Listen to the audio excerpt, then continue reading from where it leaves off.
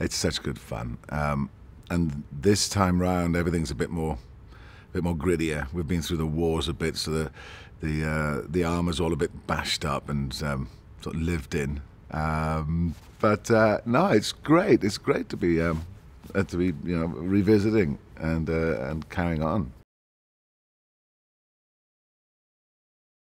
We're fighting individually. I mean, in different parts of uh, of, of, the landscape.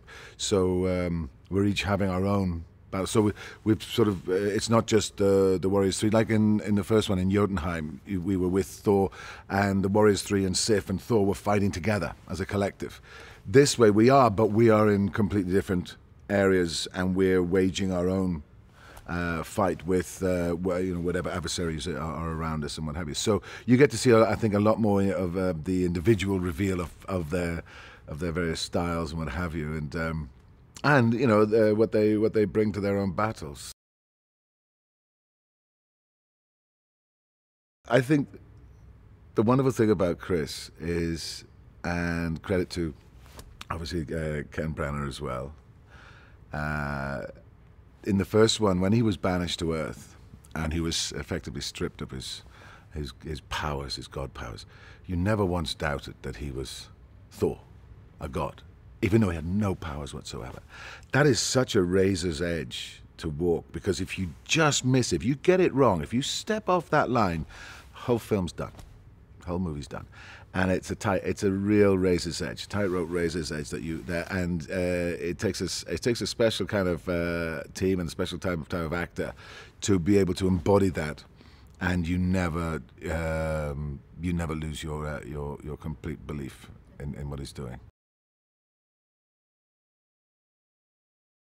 We did a lot, awful lot of training. Um, it's amazing. You come in and the stunt team have already thrown out 10 times of what the fight itself is. So you, I so appreciate what they're doing. Um, the hardest thing is to try and get some semblance of how it's going to feel when you're, because you can't practice straight away with that armor. So you, you kind of, even though you're in sort of like, you know, gym slacks and a, and a t-shirt, you kind of still, you've got this exaggerated, extended movements because you know full well you can't dance around like a ballerina because as soon as you put this on, all those moves won't work. So, and then you get bits of the costume come through. Um, and you know they're they're great. I mean, any action movie, the stunt stunt guys make the make the movie, and these guys have just been phenomenal to work with and to you know uh, every day up and at them, up and at them, up and at them, and um, so credit to them, big big credit to them.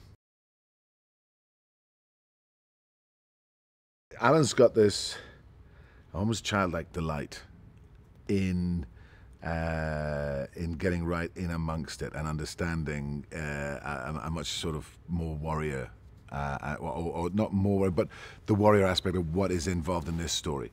So um, his readiness to actually throw the camera in amongst it and um, uh, and and put that on screen is is just tremendous. And you can just tell. From the, we got when I arrived we had the, we had our meeting, and he's in the office, and all behind him is all the illustrations of the new sets and the new movie, and he's there going, "This is gonna be fun," you know, and you just tell, and you know, you, uh, with that enthusiasm. Um, you know, it's just, it's just, it's like, it's a comradeship, it's a collaboration, and you, you do feel very much that you're in a collaboration with him.